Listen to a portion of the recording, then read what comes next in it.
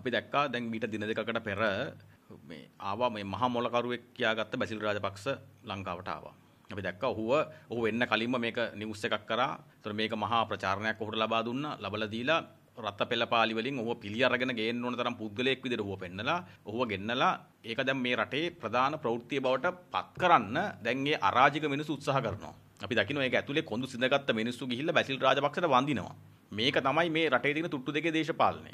මේ රටේ තියෙන තුට්ටු දෙකේ දේශපාලනය. මේ රට සම්පූර්ණයෙන්ම විනාශ කරලා මේ රට සම්පූර්ණයෙන්ම ඉන්දියාවට යටත් කරලා අපේ රටේ තියෙන ආර්ථික මරමස්ථාන සියල්ල ඉන්දියාවට අත්පත් කරගන්න අවශ්‍ය කරන පසුබිම සකසපු ඒ ඉන්දියානු ඒජන්තයා එහෙමත් නැත්නම් ඒ රෝත්තු සේවයෙන් ක්‍රියාකාරී සමාජිකයා ඉන්දියානු ඇමරිකානු රාජ්‍යයන් එක්ක අපේ රට යටපත් කරන්න පෙරමුණ අරගෙන සිටින ඒ ඒජන්තයා තමයි ලංකාවට ආවේ. දැන් මේ රටේ මිනිස්සු හිතනවා නම් එයා මහා වීරයෙක්, එයා මේ මහා මහා පෞරුෂයක් තියෙන එහෙමත් නැත්නම් මේ අර අපි දැක්කනේ මේ වගේම අර්ථකථනයක් දීලා තිබ්බ එස්.පි. දිසානායක මහත්මයාට. ඔබට මතක නම් අතීතයේ ඌට කිව්වා ඡන්ද මැෂිම කියලා. හැබැයි මේ ඡන්ද මැෂිම ඡන්ද කරේ කොහොමද? ඒ ඡන්ද මැෂිම ඡන්ද කරේ සම්පූර්ණයෙන්ම මේ රට මේ රටේ මිනිසුන්ගේ ඡන්දය මංකොල්ල කාවේක තමයි කෙරුවේ. සාධාරණ ඡන්දයක් තිබ්බේ නැහැ. ඡන්ද මැෂිම ඡන්ද මෙහෙව්වේ සම්පූර්ණයෙන්ම මිනිසුන්ගේ ඡන්ද ටික බලහත්කාරයෙන් අත්පත් කරගෙන චන්ද්‍රිකා බණ්ඩාරනායක කුමාරතුංග මහත්මියට අවශ්‍ය කරන ආකාරයට ඡන්ද ටික දිනලා දෙන්න ඕන විදිහට ඔබට මතක නම් කෑල්ලෙන් කෑල්ල. පලාතෙන් පලාතේ තමයි ඡන්ද දෙන්නේ. ඒක රටේ එක දිගට ඡන්දයක් තිබ්බෙත් නැහැ. හැබැයි දැන් බැසිල් රාජපක්ෂවත් අන්න ඒ වගේ තැනක තමයි තීලා තිබ්බේ. ඔහු හිටියොත් ඡන්ද දිනන්න පුළුවන්.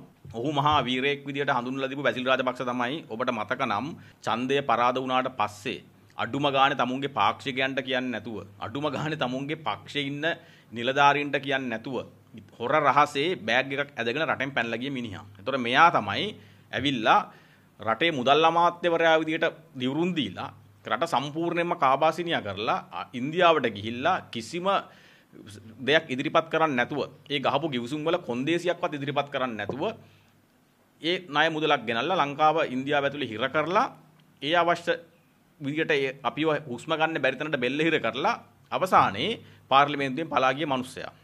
අතන කවුරු හරි හිතනවා නම් බැසිල් රාජපක්ෂ වීරයෙක් කියලා මෙයාගේ ඉතිහාසය අරන් බැලුවාම දැන් අපි දැක්කා මහාචාර්යවරයෙක් බැසිල් රාජපක්ෂ ගැන කියනවා බැසිල් රාජපක්ෂට බය වෙන්න කාරණා තුනක් තියෙනවලු. පළවෙනි එක විදිහට ਉਹ කියන්නේ එයා වැඩක් බාරගත්තොත් ඒක ඉවර කරනවා. අපි දන්නවා එයා බාර අරගෙන තියෙන වැඩේ මේ රට ඇමරිකාවට සහ ඉන්දියාවට යටත් කරන්න. ඔයා ඒක ඉවර කරන්න තමයි ඇවිල්ලා තියෙන්නේ. ඒතොර ඒ ආකාරයෙන් බැලුවාම හරි. ඒ වගේම එයා කියනවා බැසිල් රාජපක්ෂ බය නැති මිනිහෙක්ලු. අපි කියනවා අනේ බය නැති මිනිහා අඩුම ගානේ අධිකරණයට ආවද? ඉස්පිරිතාලය ඇතුලේ හැංගුනේ. ඇම්බියුලන්ස් එක ඇතුලේ හැංගුනේ. මෙන්න ඔබ කියන වීරයා. අපි කියනවා මේ මහාචාර්යවරයාට මෙන්න මේක මතක් කරගන්න. ඒ වගේ මෙයා කියනවා බැසිල් රාජපක්ෂ බයිසිකලේ හැන්ඩල් එක දිහා බලාගෙන නෙමෙයිලු ඉස්සරහා බලාගෙනලු පදින්නේ.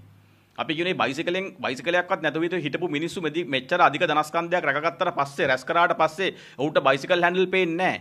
හැබැයි රටේ මිනිස්සුන්ට දැන් බයිසිකල් ටයර් එකත් අහිමි කරපු ආර්ථිකයක් හදපු මිනිහෙක් තමයි බැසිල් රාජපක්ෂ කියන්නේ. අන්නේ බැසිල් රාජපක්ෂ දැන් නැවත වටේකින් ලංකාවට ඇවිල්ලා මේ රටේ දේශපාලනය මෙහෙවන්න හදනවා නම් මේ රටේ ඉත්තු අදින්න හදනවා නම් අපි කියනවා මේ රටේ ජනතාව ඒකට අහුවෙන්නේ නැහැ. දැන් උනත් රනිල් වික්‍රමසිංහ නෙමෙයි බැසිල් රාජපක්ෂ තමයි රට රටේ පාලකයා. ඔහු තමයි රනිල් වික්‍රමසිංහව මේකට පත් කරේ. ඔහුගේ චෞර ගෝලයව තමයි රනිල් වෙනුවෙන් අතීස්ුවේ. බැසිල් ලංකාවෙන් ගියාට ලංකාවෙන් එළිය ඉඳගෙන බැසිල් තමයි මේ පාර්ලිමේන්තුව අරාජික කරේ. බැසිල් තමයි 69 ලක්ෂ ජනවර්මයට පයින් ගැහුවේ. බැසිල් තමයි ගෝඨාභය රාජපක්ෂව පාලනයෙන් පහ කරුවේ. බැසිල් තමයි මේ රට මේ ආර්ථිකය ගිල්ලුවේ. බැසිල් තමයි මේ රටට ඉන්ධන අහිමි කරේ. බැසිල් තමයි මේ රටේ ගෑස් පිපිරෙව්වේ. ඒතර මේ සියල්ල පිටිපස්සිතේ බැසිල් තමයි. ඒ බැසිල්ට විසිල් ගහන මිනිසුන්ට අපි කියනවා ඒ විසිල් ඕගොල්ලෝ තියාගන්න. හැබැයි මේ රටේ මිනිස්සු එකට ඇඳෙන්නේ නැහැ. බැසිල්ට ගාව ගිහිල්ලා කොන්ද නමන, බැසිල්ට දන ගහන, බැසිල්ගේ දෙපා ලෙව කන ඒ පාක්ෂිකයෝ ඇති.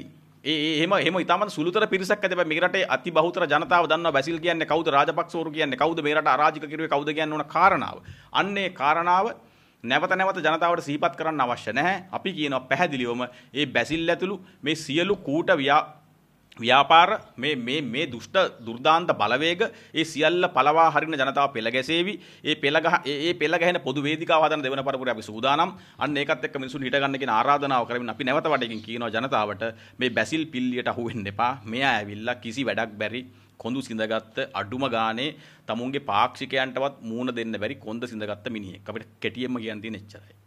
තව ප්‍රශ්නයක් තියෙනවා ලේකම්තුමා. පසුගිය දිනක YouTube නාලිකාවක ජනතා විමුක්ති පෙරමුණේ දේශපාලන මණ්ඩල සභික ලාල්කාන්ත මහතා කියනවා එයාගෙන් අහනවා ප්‍රශ්නයක් මේ උහිඳු විජේවීරට ඉන්න බැරිද මාලිමාව සමග සම්බන්ධ වෙලා දේශපාලනය කරන්න කියලා. එතෙන්දී ඔහු පිළිතුර ලෙස කියනවා ඔහු උහිඳු විජේවීර එනවා නම් එයාට එන්න පුළුවන්. එයා පල්ලෙහාම මට්ටමින් සම්බන්ධ වෙලා පෝස්ටර් ගහලා එහෙමත් කියනවා එයා පල්ලෙහාම මට්ටමින් සම්බන්ධ වෙලා පෝස්ටර් ගහලා තමයි එන්න ඕනේ කියලා. එතකොට ඒ ඒ ප්‍රශ්නය ඇතුලේ නිකන් ව්‍යංගයෙන් රටට දැනෙනවා.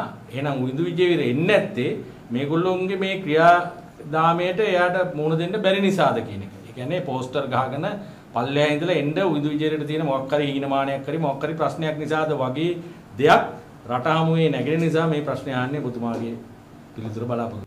ඔව් ඊටමත් හොඳ ප්‍රශ්නයක් ඔබ ඇහුවේ. ඒතකොට අපි විශේෂයෙන්ම කියන්න ඕනේ ලාල්කාන්ත මහත්මයා පහුගිය ටිකේ කරපු ප්‍රකාශ අරගෙන බලන්නකෝ.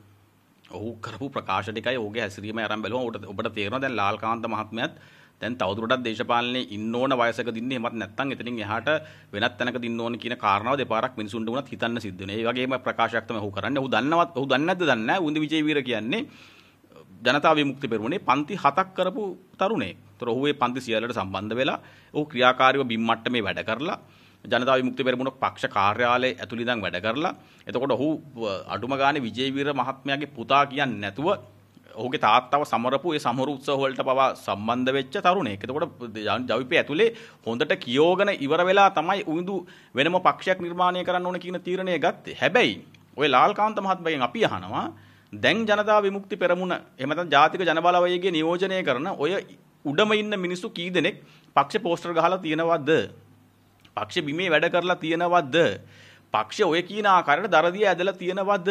අඩුම ගානේ පක්ෂ ඉතිහාසය දන්නේ නැති මිනිස්සු දැන් පක්ෂය අල්ලගෙන තියෙන. අඩුම ගානේ පක්ෂ නායකයා දැන් කියනවා ඉන්දියානු ව්‍යාප්තවාදය සම්බන්ධයෙන් පන්තියවත් ඔහු කරලා නැහැලු.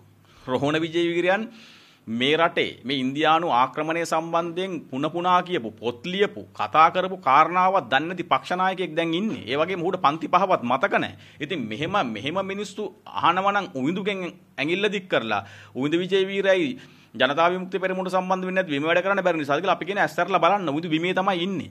ඔය ඉන්න මිනිස්සු හෙලිකොප්ටර් වලින් එහෙම නැත්නම් යාන වාහන අරගෙන මේ රට පුරා සංචාරය කරලා උවිඳු මේ බස් එකේ යන්නේ. උවිඳු කෝච්චි යන්නේ. උවිඳු මිනිස්සු ගාව තමයි ඉන්නේ. උවිඳු පත්‍රිකා බෙදමින් මේ රටේ පොලක් ගානේ දුම්රිය මධ්‍යස්ථානයක් ගානේ ගමක් ගානේ යනවා. ගිහිල්ලා මේ අනතුරක් කියනවා. ඔහු රට වෙනුවෙන් පෙනී සිටිනවා.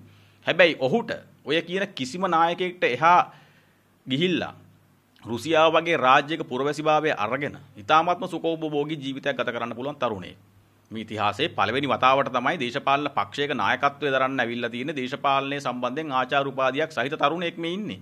ඉතිහාසයේ සමාජ විද්‍යාව ලෝක දේශපාලනයේ සම්බන්ධයෙන් ආචාර උපාධියක් සහිත තරුණයෙක් තමයි මේ ඉන්නේ. ලාල්කාන්ත මහත්මයාගෙන් අපි අහන තව මොකක්ද අවශ්‍ය සුදුසුකම? ඔහු විජේවීර මහත්මයාගේ ලේ තියෙන සුජාත පුත්‍රයෙක්. ඒ වගේම ලෝක දේශපාලනය සම්බන්ධයෙන් ආචාර උපාධියක් සහිත තරුණයෙක්. දේශපාලන විද්‍යාව සම්බන්ධයෙන් ආචාර උපාධියක් සහිත තරුණයෙක්. සමාජ විද්‍යාව සම්බන්ධයෙන් ආචාර උපාධියක් සහිත තරුණෙක් තනියෙන් තාත්තා වගේ මේ රටේ පක්ෂයක් නිර්මාණය කරපු තරුණ නායකයෙක්. ඒතර ඔහුට ඔබ කියනවද බිම ඉඳන් ආවේ නැත්නම් අපි ගන්නෑ කියලා.